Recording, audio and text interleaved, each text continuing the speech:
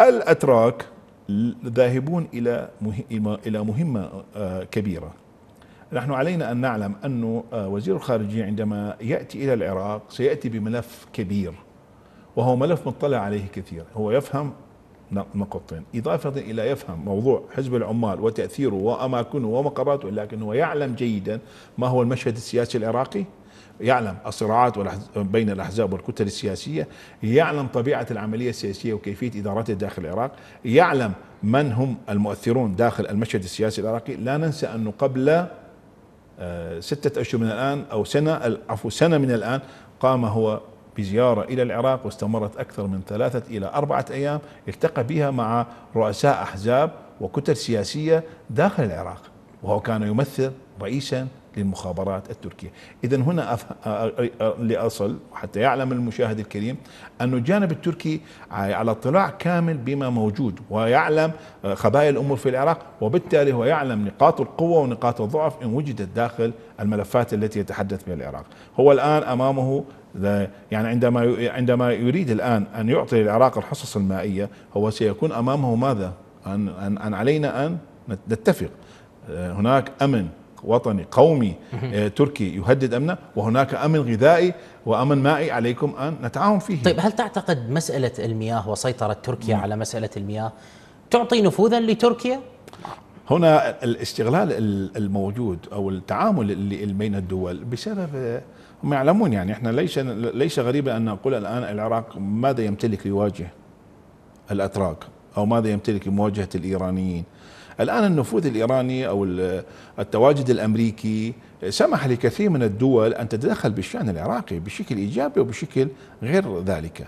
آه، الأتراك الآن يبحثون عن نقطة مهمة شديدة أنه إضافة إلى الوضع الأمني يبحثون عن الجانب الاقتصادي أنه نعلم الآن السياسة التركية أخذت أبعاد أبعاد كثيرة. الآن السياسة التركية تبحث عن موضوع اقتصادي تبحث عن كيفية إدامة العلاقات. العراق كما قلت يعني مع يعني مع مع تركيا لديه علاقات كبيرة وواسعة. آه، حجم التبادل التجاري الآن بين العراق وتركيا أكثر من 25 إلى 30 مليار دولار. نحن الآن هناك أكثر من 2000 شركة تعمل داخل العراق. هناك أكثر من عملية بناء وإعمار ومشاريع تستخدمها آه، لبنى تحتية تستخدم أو تقوم بإنشائها شركات تركية. آه، آخر شيء الشركات الفرنسية تنازلت إلى للشركات التركية في موضوع ماذا؟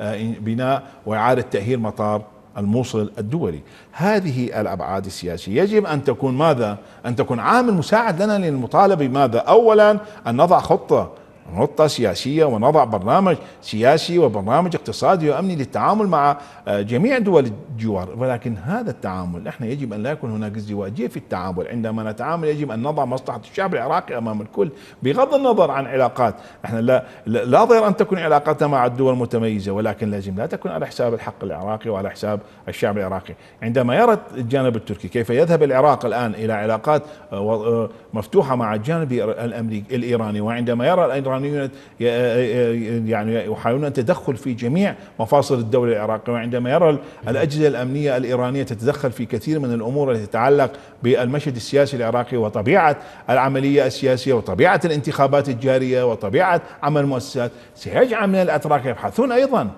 أنا قلت في لقاء سابق أنه عندما عندما عندما تسعى إيران أو يسعى الأمريكان إلى عقد اتفاقية لإنهاء البرنامج النووي الإيراني سيكون أمام إيران استعداد لإكمال مشروعها كقوة إقليمية داخل المنطقة وإكمال مشروعها في موضوع البرنامج النووي والتسليح والصواريخ البالستية. هذا سيدفع ماذا؟ سيدفع دول أخرى إقليمية كتركيا إلى أيضا أن تنشط فعالية عملها وتسعى إلى إيجاد برنامج نووي وكذلك السعودية باعتبارها دولة عربية لها تأثير. الآن نفس الحالة يعني إذا نقلنا الموضوع إذا هناك دول مجاورة للعراق ومنها تركيا. تريد أيضا أن تكون لها نفس ليس نفس النفوذ السياسي بمفهوم السيطرة لا ولكن بمفهوم أن تديم علاقاتها وتديم هذا إذا, إذا أنت ترى تركيا ستحقق نفوذا أكبر في نعم. الفترة القادمة بالتشكيلة الحكومية الحالية التي نراها هناك